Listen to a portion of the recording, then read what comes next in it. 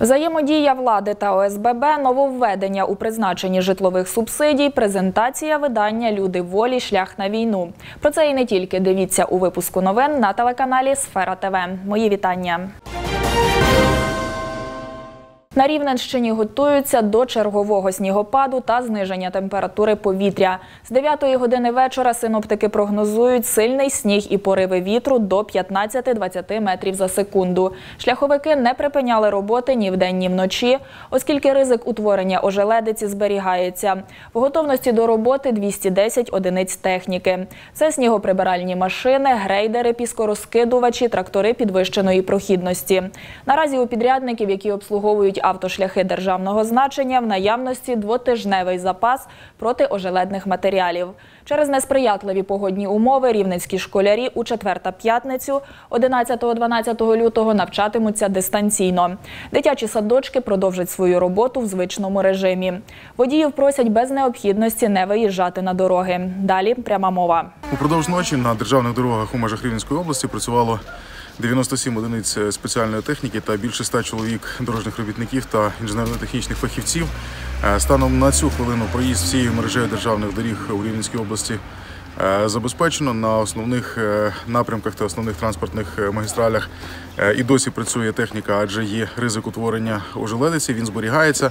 А на територіальних дорогах е, тривають роботи під підрядними організаціями. Проводяться роботи з приведення їх до належного експлуатаційного е, стану, аби забезпечити не тільки проїзд як факт, а й зробити його максимально безпечним та комфортним, наскільки це можливо.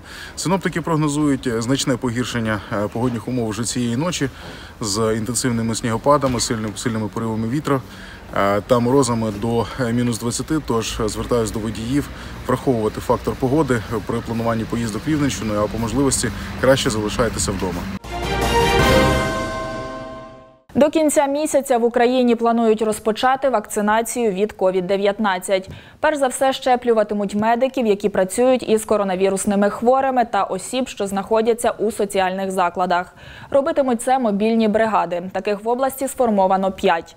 Тож, коли все ж таки розпочнеться вакцинація та де можна записатися на чергу, дивіться далі. Незабаром, як повідомлялось, в область надійде вакцина проти коронавірусної інфекції. В першу чергу, нагадаю, будуть щеплюватись медичні працівники, які працюють з хворими на ковід, медики, в тому числі мобільних бригад, працівників лабораторій, які працюють з небезпечним матеріалом, соцпрацівники, силовики і інші. Відповідні е, списки вже е, роботодавцями сформовані. Інші категорії населення будуть щеплюватись по мірі надходження вакцини. Е, Всі, хто бажає, е, бажає вакцинуватись, хоча шляхів реалізації е, цієї можливості буде багато, рекомендую натомість звертатись до свого сімейного лікаря. Стосовно сайту, де можна записатись, наскільки я володію інформацією, він в стадії випробування. Форум для ОСББ міста та області відбувся у Рівному. Обговорили діючі програми для співвласників багатоквартирних будинків, їх переваги та недоліки. Вислухали пропозиції від членів правлінь. Скільки планує міська рада передбачити на допомогу ОСББ?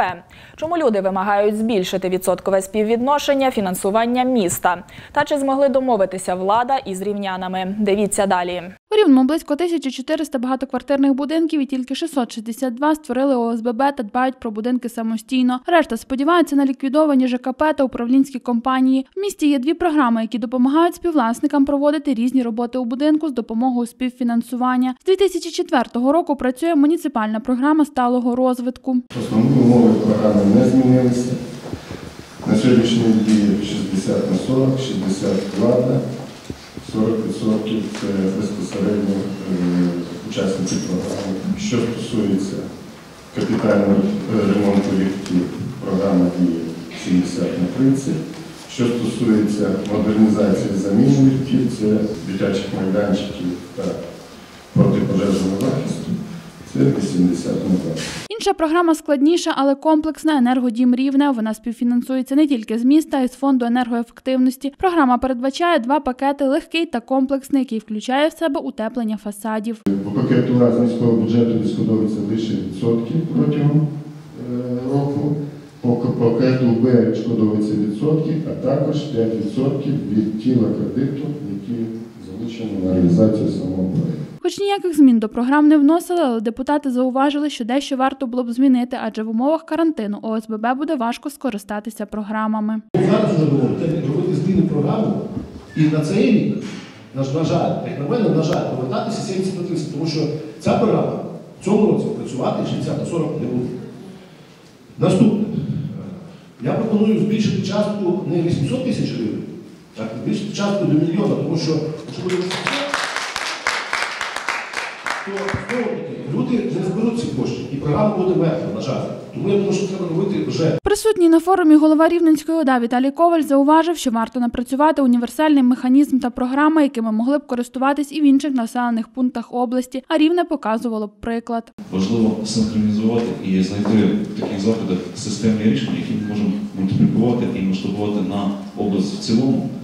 І саме взаємодія е, обласного департаменту, міського департаменту між собою і е, зшити саме через проблематику і розуміння самої суті проблеми головам ОСББ, які подають нам е, свої, моделі вирішення, ми їх готові зшивати разом з містом. Це було б дуже дієво і дуже правильно. Члени правління ОСББ озвучували свої пропозиції щодо покращення роботи програм. Зокрема, просили переглянути співфінансування по заміні ліфтів, адже для мешканців таке відсоткове співвідношення є непосильним. За приклад ставлять Київ, де 95% фінансує місто, а 5 – мешканці. Мабуть, нашій владі потрібно вирішити питання і все-таки на державному рівні піднімати питання, щоб програма встановлення нових ліфтів вона була дійсно державною. Ми не маємо, люди не мають такої можливості, розумієте? Я вже дивлюсь на своїх людей, мені їх шкода. Також просили збільшити суму компенсації від міста. Будь ласка, якщо є можливість, все-таки збільшити суму, яку буде компенсувати місто. Оскільки в нас є е, згідно з закону про прозоро, про публічні закупівлі, у нас допорогова сума є півтора мільйона. І якщо ми будемо брати, ОСББ буде мати можливість взяти півтора мільйона, то ми просили, щоб місто підтримувало хоча б мільйон. Подібні проблеми та питання виникають у співвласників не тільки рівного, а й інших населених пунктів області, які також бажають створювати ОСББ. А при співпраці департаменту ЖКГ ОДА та міського вдасться напрацювати механізм, яким зможуть користуватись будь-де. Ми е, напрацьовуємо системне рішення незалежності від міста. Е, Рівненщина це територія рівних можливостей, тому будь-яке ОСББ в будь-якому районі е, заслуговує те, щоб ми його підтримували. Попередні роки у міському бюджеті передбачали 50 мільйонів гривень на підтримку ОСББ. Як буде цього разу, залежатиме від депутатів, адже ще не затверджена сума коштів на ці програми. Хоча заступник міського голови каже, до проекту бюджету 2021 подавали пропозицію щодо 60 мільйонів гривень. Анастасія Шепетюк, Вячеслав Мельник, випуск новин. Цьогоріч з'явилося чимало нововведень щодо призначення житлової субсидії. В управлінні праці та соціального захисту пояснили, які зміни відбулись та чи на користь громадян. Детальніше про це дивіться у сюжеті. Цьогоріч з'явилось чимало нововведень щодо призначення житлової субсидії. В управлінні праці та соцзахисту кажуть про значні спрощення у призначенні субсидії особам, які офіційно працюють за кордоном або перебувають за межами країни у період догляду за дитиною віком менше трьох років. Якщо раніше цим особам потрібно було, е, е, у нас був е, такий список, де потрібно звіритися, чи є співпраця з даними країнами, то тепер всім, хто перебуває за кордоном, достатньо подати документи про сплату єдиного соціального внеску або інформацію про те, що здійснюється догляд за дитиною до трьох років. Раніше житлова субсидія не призначалась, якщо опалювальна площа приміщення перевищувала 120 квадратних метрів для квартир та 200 квадратних метрів для індивідуальних будинків. Тепер при призначенні субсидії зважатимуть на загальну площу житлового приміщення. Відбулися зміни щодо призначення житлової субсидії відповідно до загальної площі житлового будинку. Якщо раніше умовою було визначення права на опалювальну площу, то тепер змінилися на загальну площу, тому дуже прошу звернути на це увагу. Громадян, які мають будинки, загальна площа яких перевищує 230 квадратних метрів. Для квартир це 130 квадратних метрів. Чимало людей у зв'язку з карантином отримували допомогу по тимчасовому безробіттю через центр зайнятості та не мали права скористатися житловою субсидією. Проте зараз для таких осіб є гарна новина. Особи, які отримують допомогу по тимчасовому безробіттю, мають право отримати доп- отримати дану допомогу у вигляді субсидії. Їм до розрахунку буде враховано нарахована дана допомога. Для цього вони можуть звернутися до управління, подавши довідку про суму призначеної допомоги. Адже на, жаль, ця допомога не має електронного обміну, адже ну, можливо, в силу своїх тих змін, що відбулися. Тому всі, хто стикнувся з тим, що їм було відмовлено, зверніться до підрозділів управління. До того ж, з 1 лютого у ЦНАПі можна отримати консультацію та подати документи у режимі віддаленого робочого місця. Працівники управління соцзахисту закликають громадян за консультаціями звертатись у телефонному режимі, адже погодні умови не найкращі. Номери можна знайти на сайті управління. Дарія Солодовник, Дмитро Сидор. Випуск новин. Дізнатися правду про війну з перших вуст у рівному відбулася презентація книги Люди волі. Шлях на війну. Автор розповів історії 56 людей, котрі боролися на сході за незалежність України. Їх шлях до прийняття рішення стати по цей бік барикад та реалії ОС. Тож як обиралася назва книги та чому Михайло Ухман вирішив закріпити ці історії на сторінках, дивіться у сюжеті. Реалії українсько-російської війни на сторінках книги. У рівному Михайло Ухман, людина, котра з 2016 року була на передовій, презентував книгу під назвою Люди волі. Шлях на війну. В ній автор розповів історії 56 бійців, які були в епіцентрі подій на майдані. Бачили, як починалася війна та чим керувалися чоловіки, йдучи в зону бойових дій. Згадуються і російські полонені. Це історії про різних людей з різних регіонів країни, від заходу до сходу. І їхні, скажімо,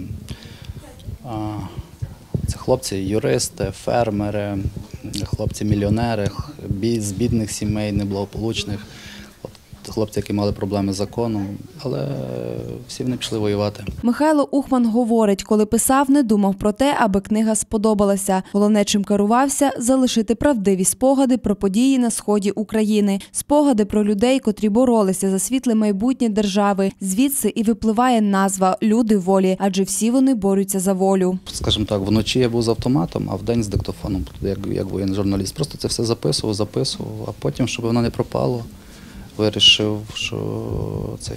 Багато з цих друзів, з ким я воював, це і легіонери, так. Таке слово не хороше, але є. Та, з Казахстану, з, е, вони вже вбиті. Так, їх росіяни вбили, і це в пам'ять ще про них. Це вже назавжди буде спогад. І майбутні покоління будуть знати, що відбувалося. Тим більше я писав такі подробиці, які не опис, не розказують по телебаченню, немає в засобах масової інших засобах масової інформації. Одним із перших прочитав книгу волонтер Олег Шинкаренко. Каже, що багатьох героїв знає особисто і також мав можливість чути ці історії з перших вуст. Ділиться, що прочитавши їх, можна зробити для себе певні висновки. Там є е, дуже-дуже багато е, цікавих доль, цікавих людей, у яких е, зовсім різні мотивації були, причини, життєві шляхи е, потрапити на війну. Знову ж таки, е, в 2014 році е, вони могли бути навіть там якоїсь протилежної думки, протилежних поглядів на рахунок цього всього. Е,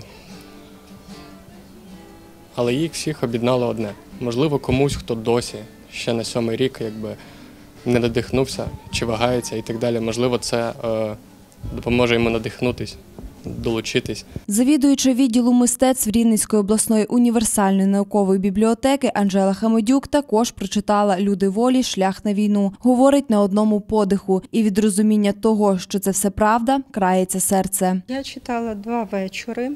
Е, Це справді ти і захоплюєшся подвигами е, наших героїв, справді героїв.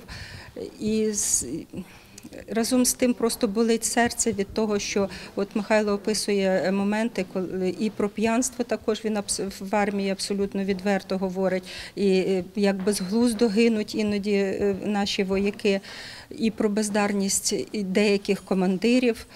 Які, щоб заробити свою зай- зайву зірочку чи медальку, тупо ведуть хлопців е, на смерть. Надалі Михайло Ухман планує писати ще, адже те, що є в книзі Люди волі невелика частина. Говорить, наразі є історії, які можуть нести загрозу певним бійцям, але з часом і вони побачать світ. Аліна Пучка, Дмитро Сидор, випуск новин.